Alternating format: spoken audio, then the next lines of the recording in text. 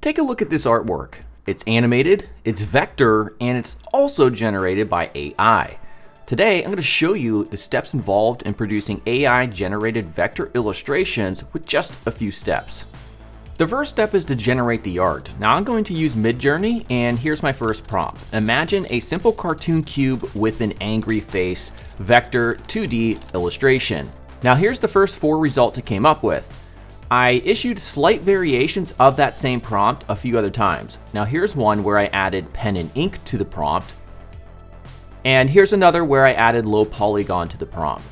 I actually like the top right the most because it's very simple. The more simple your image, the better because that will equate to a lower file size. This is especially important if you want to use it on the web. While it sort of looks vector, it's still rastered. We need to vectorize it ourselves. Now there are plenty of tools to do this, but I found Adobe Illustrator to produce the best results. Once you open the image in Illustrator, you can use one of their image tracing presets.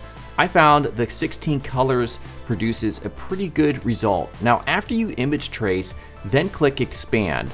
Voila, your image is now vector. However, it needs cleaned up.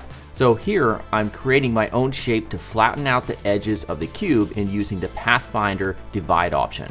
Now, if we were to export this as an SVG right now, it would be a whopping 80 plus kilobytes we can use Illustrator's Simplify tool to reduce the number of anchor points. What you're trying to do is to both maintain the integrity of the shape while reducing the number of anchor points. Here, I'm going from 2400 points to 1400, which is a huge reduction.